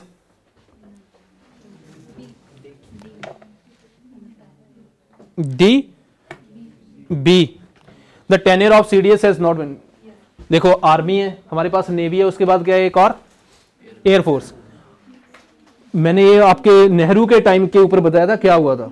कि उस टाइम पे उन्होंने बोला कि जब इंडिया की, है ना 1962 के अराउंड तो उन्होंने बोला कि भाई, गवर्नमेंट की साइड से आया आई थिंक नहीं हाँ पीएम ने ये बोला कि ये काम कर दो, ठीक है, कोई आई थिंक ट्रूप का वो करना था, ठीक है प्लेसमेंट तो उन्होंने जो आर्मी का हेड था, उसने बोला, भाई रिटर्न लेकर आओ। और जब तक रिटर्न आया, तब तक हमारा रिटर्न हो चुका था। रिज़ल्ट भी आ गया था। तो उसके बेसिस पे इन्होंने लगा, यार, ये तो प्रॉब्लम है। अब वो बोलता है कुछ और, ये मानते नहीं है। तो उन्होंने बोला, आर्मी, नेवी एंड जो ये वाला तीसरा कौन सा रह गया? हाँ एयरफोर्स इनके ऊपर एक ऐसा सिस्टम बनाओ, जो गवर्नमेंट के डायरेक्ट कांटेक्ट के अंदर है तो उन्होंने बना दिया। चीफ डिफेंस ऑफ़ स्टाफ तो अभी आर्मी वाले बिपिन रावत, वो इसके हेड है। टेन ईयर जो army navy and air force का कितना था? मैक्सिमम एज लिमिट 62 क्योंकि अब सीडीएस के लिए इन्होंने इंक्रीज कर दी उसको। 65 कर दी। ठीक है? तो नेक्स्ट ईयर जैसे उन्होंने आई थिंक इसी साल, मार्च के अंदर बिपिन रावत ने कितने साल के हो जाना है? 62 तो फिर तो उनका टेन ईयर ही खत्म हो जाएगा अगर सीडीएस के अंदर है 62 के अंदर तो उन्होंने इसको 65 कर दिया। ठीक है? बट इसका टेन ईयर फिक्स नहीं किया मतलब मैक्सिमम एज लिमिट फिक्स कर दी कि कितने साल रहेगा, कितना अभी वो फिक्स नहीं है। ठीक है? तो हम देखेंगे, शायद एक दो महीने के अंदर क्लेरिफिकेशन मिले इसके अंदर right fifth question Indian state of forest West Bengal has largest wetland area गलत है। Open forest cover is more than moderately forest गलत है। That is answer is D none of the above S D G index is release by बस बस बस। S D G India index is release by NITI Aayog S D G index is release by sustainable development solution network यही तो वहीं में कम गलती कर। तो ये छोटी छोटी गलती है और एक छोटी गलती आपको पता है कितना सजा देती है। It is release by sustainable development solution network but S D G India index is release by NITI Aayog हाँ। Next one seventh question Bharat Itihas founded by Bhandarkar Bhandarkar ने तो फाउंड ही नहीं किया। भंडारकर ने वो किया था जिसका नाम ही भंडारकर है। ठीक है? Second one is Indian History Congress regulate standards of work of history produce in India सही है? So answer is B eighth question IMEI number. It is allocated by GSMA. Tampering is punishable. अब ये देखो, इसके अंदर भी। Tampering India के context में. पनिशेबल ना कि वर्ल्ड वाइड वर्ल्ड वाइड भी पनिशेबल है नहीं तो आईफोन ऐसे ही थोड़ी होते. इंडिया के अंदर पनिशेबल है लेकिन पता चले मंत्री के पास भी वही फ़ोन है. समझे? इंडिया के अंदर इतना रेगुलेशन नहीं है. रेगुलेट ही नहीं है. पनिशेबल हर जगह है. है ही तो पनिशेबल अदरवाइज़ ग्लोबल बॉडी दे रही है वो कहेगी यार मैं बेवकूफ़ इतने वो नंबर बना रहे हैं ना मैक्सिमम कॉम्बिनेशन कितनों को मिल जाए? और तुम एक ही नंबर के इंडिया के 145 करोड़ के एक ही आई एम नंबर सभी का। ठीक है? राइट तो आंसर क्या आएगा? देखो टेम्परिंग टेम्परिंग अभी न्यूज़ के अंदर नहीं था, लेकिन टेम्परिंग का, जैसे इन्होंने भी पूछा था क्वेश्चन तो हमें थोड़ा सा अपने तरफ़ से भी एक आधा पॉइंट ऐड करना पड़ेगा। तभी करंट अफेयर की वैल्यू इंक्रीज होती। ऐसा नहीं है न्यूज़ के अंदर आया और हमने कर लिया और लगा हो गया। ठीक है? सो आंसर क्या आएगा इसका? एट्थ का? C ninth question armed forces special powers act पढ़ा है किसी ने? अराउंड 1958 के अंदर इन्होंने स्टार्ट किया था। यहाँ पे क्या होता है? कि कोई भी एरिया डिस्टर्ब्ड अगर कोई एरिया डिस्टर्ब्ड है डिस्टर्ब मतलब कम्युनिटीज के बीच के अंदर डिफरेंसेस हो सकते हैं, कोई भी, है ना? और गवर्नमेंट को लगे कि ये पर्टिकुलर एरिया इज़ डिस्टर्ब्ड यहाँ पे आर्मी यूज़ करनी है। किस गवर्नमेंट को लगे? सेंट्रल गवर्नमेंट को लगे, तब भी। स्टेट गवर्नमेंट रिकमेंड करे, तब भी। लेकिन स्टेट गवर्नमेंट थोड़ा बोलेगी, मेरे मुँह पे थप्पड़ मारो।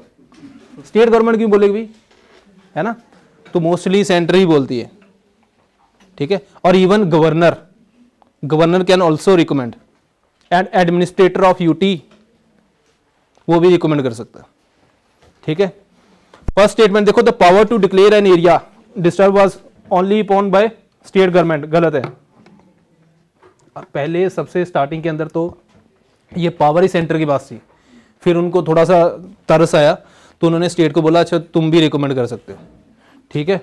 सेकंड स्टेटमेंट देखो state government has authority to reprimand और prosecute those members of armed forces that commit human right violation ये क्वेश्चन ये तो बिल्कुल ही गलत है। थर्ड देखो declaration of disturb status should be reviewed after every six month तो this is a correct this is a correct statement tenth Patal Ganga अभी तो आ गया। मैंने बताया, अभी याद आएगा। अभी क्योंकि अभी तो किया है। और कंफ्यूजन कहाँ से होगी? किया ही इतना है। कंफ्यूजन कब होती है? जब आप सारा पढ़ लोगे। जब आपने पढ़े चार अक्षर है उसमें क्या कंफ्यूजन और अके, अकेला दौड़ेगा तो सेकंड कैसे आएगा? मुझे समझ नहीं आई so answer is B eleventh question seismograph seismograph measure the pressure of liquid and gas piezometer measure the movement of earth opposite है। So answer will be d. Okay. 12th question. Maximum forest cover. Madhya Pradesh और अभी last year UPSC ने question पूछा है। याद है? Forest area के ऊपर चार स्टेट के नाम दिए थे। उसके अंदर ऐसा नहीं है कि हमने सारी स्टेट्स याद करनी। उन्हें ऑप्शन ही ऐसे दिए कि आपको अगर ऊपर वाले तीन चार याद है, और percentage and total forest cover के अंदर डिफरेंस याद है ईजिली होता था। ठीक है? हम्म contrasting interfacial activities energy generation from what ऐसा क्वेश्चन आएगा। ठीक है? तो आपको एटलीस्ट आइडेंटिफिकेशन करनी पड़ेगी पहले कि अगर कोई मैं इंफॉर्मेशन पढ़ रहा हूँ एक एक पेज की इंफॉर्मेशन रख के क्या करोगे? ठीक है? So answer will be B fourteen question archaeological survey of India first statement is right second statement is right ministry of culture. So answer is C fifteenth question M G NREGA ये बता दो इसका answer first statement is it is implemented in all rural district of the country ये सही है। जो government की site के ऊपर फ्रीक्वेंटली आज क्वेश्चन के अंदर जाओगे ना, उन्होंने इसका आंसर दिया हुआ है। वहाँ से मैंने इंफॉर्मेशन उठाई थी। Second statement is the state government may by notification make rules for effective implementation of scheme M G NREGA के बारे में तो पता है ना, नाम सुना that is also correct third central government bears hundred percent of the cost of material for work this statement is wrong no तो बोलोगे, नीचे है ही none of the seventy five percent provide करती है। जो लेबर कॉस्ट है, जितनी wages है, उसकी 100% प्रोवाइड करती है एंड मटेरियल कॉस्ट की कितनी प्रोवाइड करती है? 75 percent right hmm material cost का बाकी स्टेट लोकल गवर्नमेंट देखेगी या स्टेट गवर्नमेंट 75 परसेंट वो दे देंगे मटेरियल अदरवाइज़ तो आप बोलोगे, हर एक चीज़ मुझे टॉमी की चाहिए टॉमी की मशीन लेकर आओ। टॉमी की ईटें, है ना? So this is all about for two days okay